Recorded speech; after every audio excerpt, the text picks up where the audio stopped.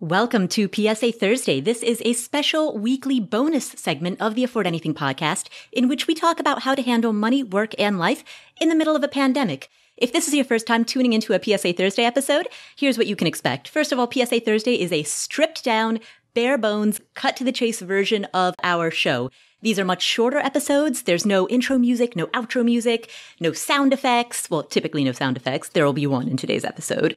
If we do guest interviews, then we don't have key takeaways. We intentionally keep these episodes ad free. So these are basic, bare bones bonus episodes in which we deep dive into a particular topic related to the year 2020. On some of our previous PSA Thursday episodes, we talked about how the CARES Act, which was passed in the spring of 2020, how the CARES Act impacts student loans. We talked about donor advised funds and how you can use them to donate to nonprofits and organizations that are doing great work.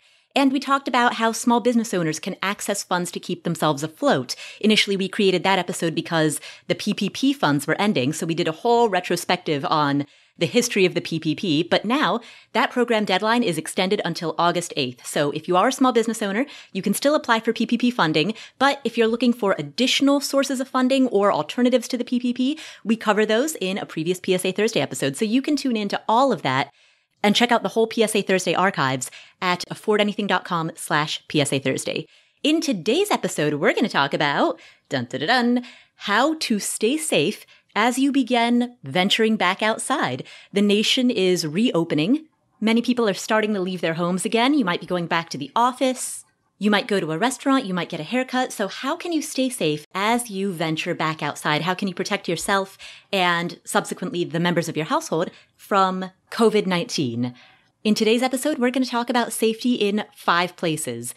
Public restrooms, fast food or quick serve food establishments, gyms and fitness centers, at the gas pump, and then general or overall. Now, before we begin, a quick disclaimer that I may be talking about safety or throwing around phrases like, you know, how to stay safe, how to protect yourselves, but bear in mind that when we talk about this, we're talking about harm reduction or risk reduction. Nothing is ever 100% safe. Nothing is ever 100% guaranteed. So I'll be throwing around the more colloquial phrase, stay safe. But what I mean by that is reduce risk. With that said, let's turn to the most appetizing of the five topics that we're going to cover today, how to protect yourself when you use a public restroom. Let's kick off with the bad news. According to research that was published in June in a journal called The Physics of Fluids, there is evidence that coronavirus can be passed not only through respiratory droplets, but through virus laden feces. Sorry for those of you who are listening to this while you're eating lunch. According to this article, flushing a toilet can generate a cloud of aerosol droplets that rise nearly three feet, and those aerosol droplets can linger in the air long enough to be inhaled by the person in the neighboring stall, or it can land on surfaces in the bathroom so that when you touch, say, the door of a stall or a doorknob, you might be touching it. Essentially, with every flush, the toilet releases microbes into the environment, and those microbes land on walls the toilet seat, the floor, the toilet, the door handles. And a new study suggests that potentially infectious particles continue to be airborne for about a minute after each flush. So that's the bad news slash the gross news. Now, the good news is we do not yet know if public toilets or shared toilets are a common point of transmission of the virus. And there is certainly evidence that suggests that virus particles in a toilet bowl are less infectious than virus particles that come from, say, someone sneezing on you. But still, it's an unpleasant idea. And as more offices, restaurants, and other businesses open up, more and more people will need to use public restrooms. Not to mention, Compounding the issue is that many restrooms are poorly ventilated, and the crowds that come through are all touching the same sink faucets, doorknobs, the locking mechanism on stall doors. With all of that established, what are some of the tips that public health experts share regarding use of a public restroom? Number one, keep your mask on. And be particularly cautious or particularly aware about not touching your face while you're in there. If someone exits a bathroom stall or a single bathroom right before you and there's not a line, wait for at least 60 seconds before you enter that same stall. Now, here's what you can totally skip doing. You can skip putting a paper seat cover on the toilet. these could easily be contaminated with toilet plume. So touching these things with your hands could be a source of infectious transmission. So you don't need to worry about putting a paper seat cover over the seat. But do please sit down. Don't hover because hovering often leaves urine on a seat, which means that either you or the next person has to wipe down that toilet seat, which is the surface with the most exposure to infectious plume. And that's just not nice. By the way, the source for all of this, all of the reference material, all of the articles that we've looked at, all of the sources and information for everything that we're discussing here will be linked to in the show notes. And the show notes are available at affordanything.com slash PSA Thursday. So going back to more tips for the toilet, Get your business done as fast as possible and then get out of there. This is not the time to be scrolling your phone while you're on the toilet. You want to be doing this in record time. When you do go to flush the toilet, close the lid first and then flush. And if an automated toilet starts automatically flushing, step away because those things spray. Once you're out of the stall, wash your hands extra carefully and use a paper towel to turn off the sink faucet after you've washed your hands so that you're not touching that faucet with newly clean hands. Now, for those of you who have young kids, if you are changing an infant or a baby, if you're changing a child in a diaper, there are some public health experts who recommend bringing a plastic garbage bag to spread out over the changing table. This creates a clean mat. And once you're done changing that diaper, you can then roll up the diaper as well as sanitizing wipes and disposable gloves and anything else that you might have. You can roll all of that up into the garbage bag and then throw it all away. Alternatively, I've talked to friends who are parents who tell me that they're changing their babies in the back of their car. So those are some tips for staying safe when you use a public restroom. Now, off the topic of the toilet and on to the somewhat related topic of fast food or quick serve food, places where you can get a grab and go lunch. If you're out and about and you need to grab quick food on the go, how do you reduce risk while doing so?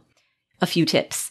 Number one, if the place has a drive through, use it. Stay in your car, even if it means that after you receive the food, you will then pull into a parking spot and eat in a parked car.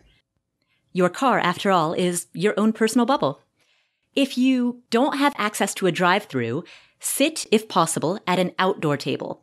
If you must sit indoors, choose a table that's far away from everyone. Now, there are many places that will close off or block certain tables in order to enforce social distancing, but there are other places that won't do that or won't do that perfectly. So to the best of your ability, look around and choose a table that is off on its own. Now, the next tip is to wash your hands before you consume your food, particularly if you're consuming anything that you touch directly with your fingers, like burgers, tacos, sandwiches, french fries. So take the food out of the packaging, put it on a plate, and then go wash your hands before you eat. If you're inside of your car, make sure you have some hand sanitizer with you.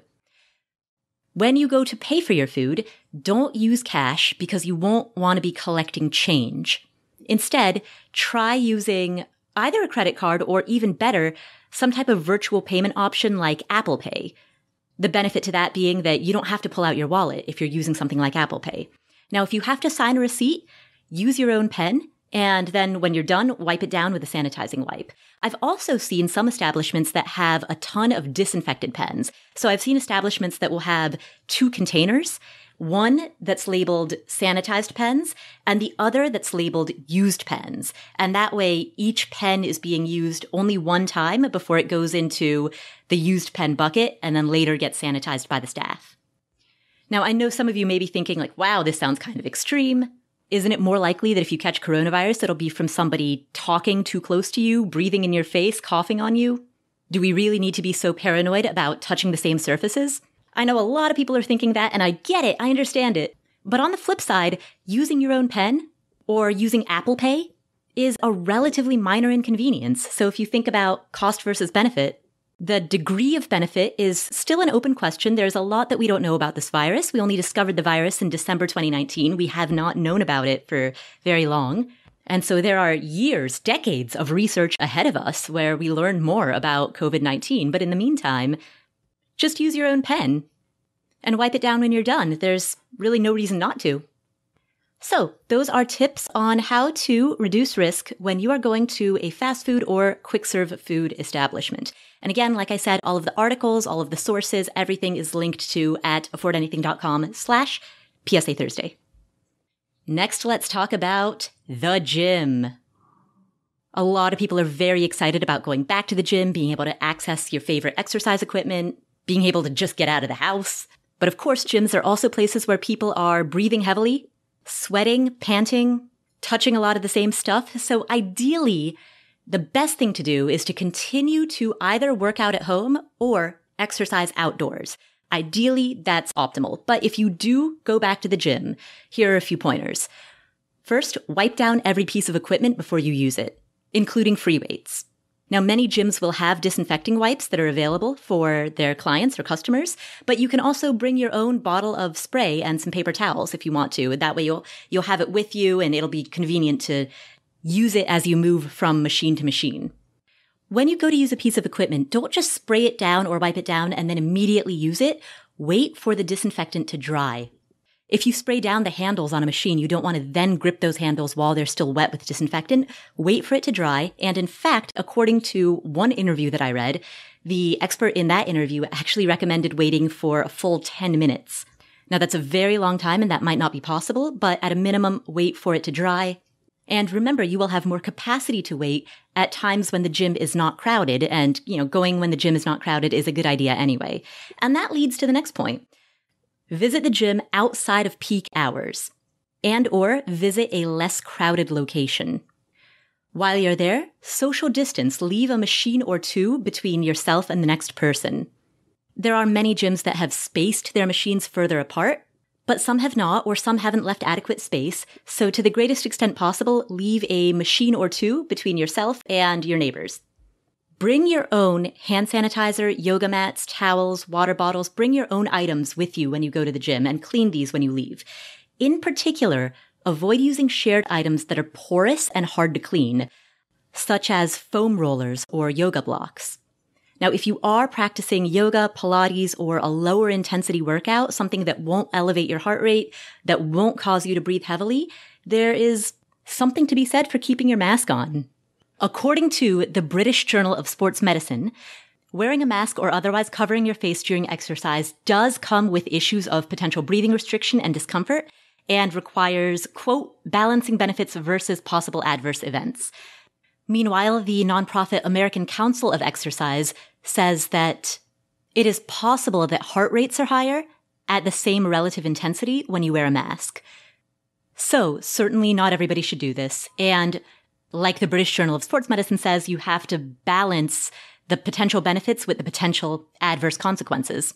So think about it critically, make the best decision for yourself. As I said, I'm not saying that everybody should do it or even should try to do it, just simply that there's, for some people in some activities, there is something to be said for it.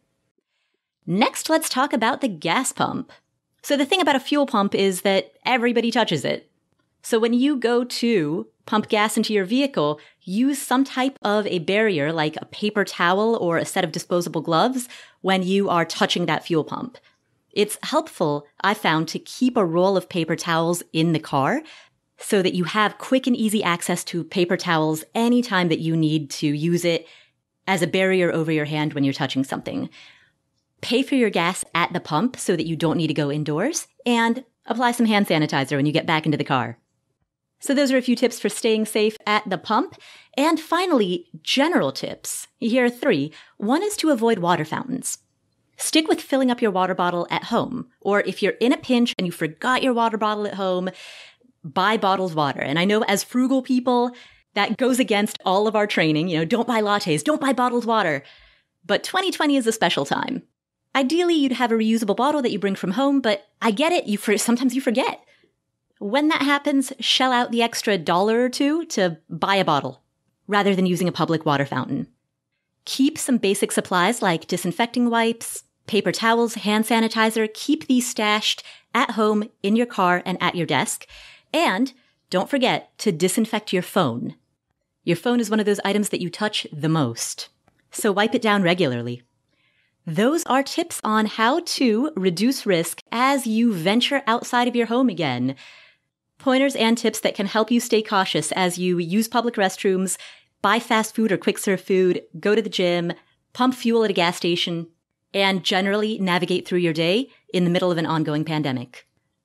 We have a special bonus. We've created a nice PDF that summarizes and lists out a lot of these tips. If you want to download that for free so that you can send it on to friends, family members, anyone who you want to share this info with, you can grab that cute PDF for free at affordanything.com slash toilet. That is our PSA Thursday for today. Thanks for tuning in. If you enjoyed today's episode, please share it with a friend or family member, or send them the downloadable PDF that we put together at affordanything.com slash toilet. If you want to connect with other people in the Afford Anything community, you can find them at affordanything.com slash community, where you can share ideas, questions, tips, advice about absolutely anything, whether it's early retirement, investing, budgeting, debt payoff, working from home, or returning back to work after having been at home for the past few months. Anything that you want to talk about, you can talk to other members of this community at affordanything.com slash community. Thanks for tuning in. My name is Paula Pant. This is the Afford Anything podcast. You're listening to PSA Thursday, a special bonus segment of the podcast that focuses on how to navigate through life during a pandemic. This upcoming Monday, we will be featuring an interview with Dr. Benjamin Hardy, an organizational psychologist who talks about how personality is not as permanent as we like to believe it is, and then describes how to apply this insight to your life. So make sure that you hit subscribe or follow in whatever app you're using to listen to this podcast so that you don't miss that interview or any of our other awesome upcoming interviews. Thanks again for tuning in. My name is Paula Pant. This is the Afford Anything podcast, and I will catch you in the next episode.